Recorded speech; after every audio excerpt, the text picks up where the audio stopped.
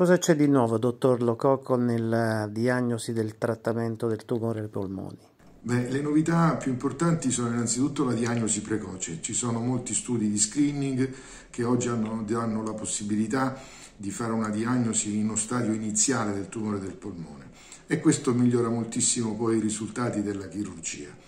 Nel, da un punto di vista chirurgico eh, ci sono delle nuove tecniche eh, chirurgiche, diciamo quelle mini invasive, cioè la chirurgia quella fatta con i, con i buchi, con i forellini, tanto per capirci, che ci permette di avere risultati molto eh, importanti con una riduzione notevole delle complicanze postoperatorie e anche del disagio del paziente, un um, ricovero breve di 2-3 giorni nel postoperatorio, niente dolore, una ripresa rapidissima senza fare la riabilitazione respiratoria.